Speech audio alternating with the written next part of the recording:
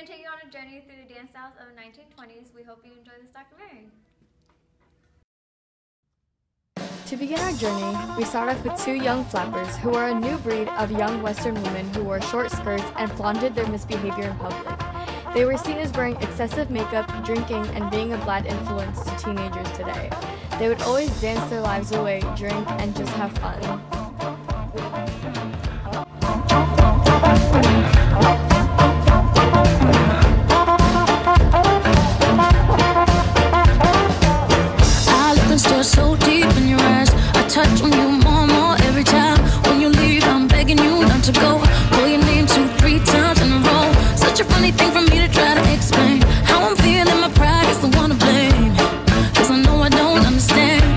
your love is doing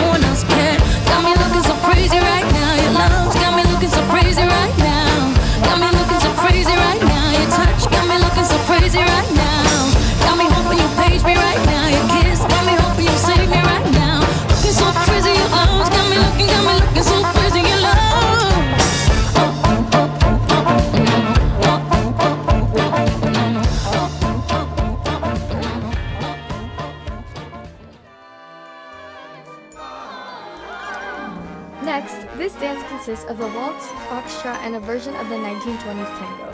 The waltz began in the 16th century and the foxtrot began in 1916, but its popularity started to heighten in the 1920s. The foxtrot was popular during and after the war because it was suited to the different and faster tempos of the song.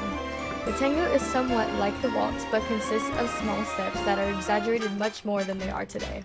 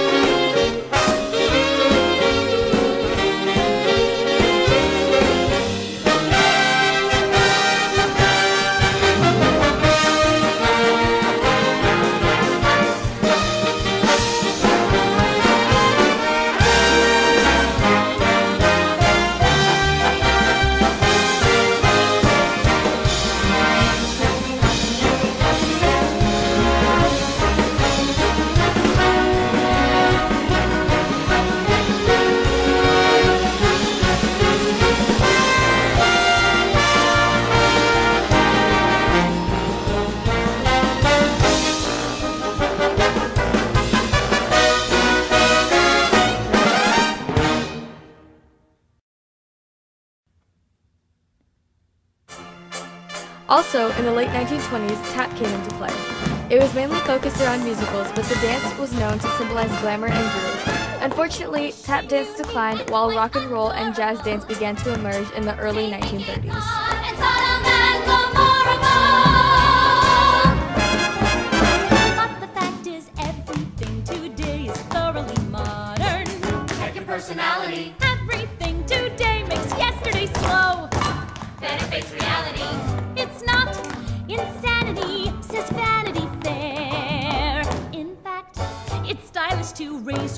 Skirts and bob your, hair.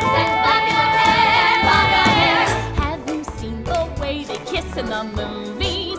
Isn't it delectable?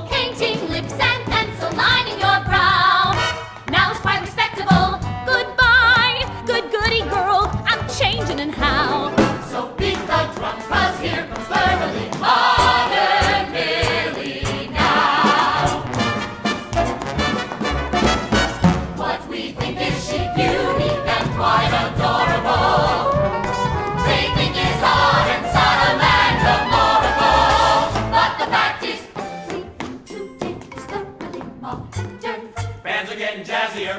Everything today is starting to go. Cars are getting snazzier.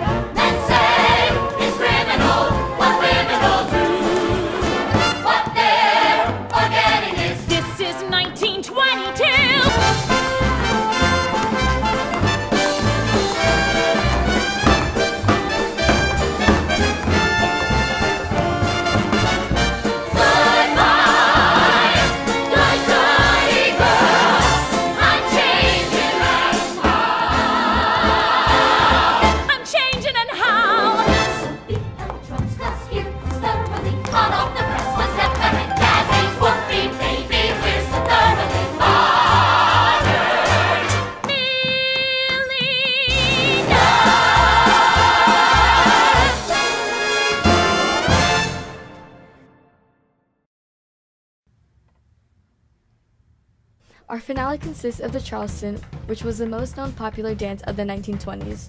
This dance was performed by everyone and anyone in any of the speakeasies, but later declined in the 1930s.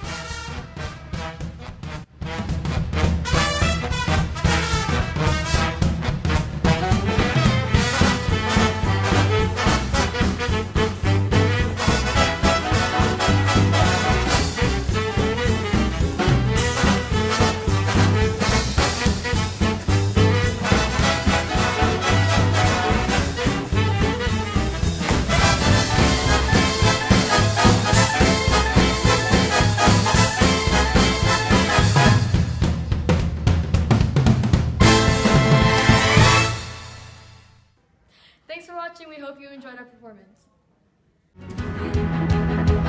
Okay, now, now. There's shadows on the walls of moments far too troubling to recall.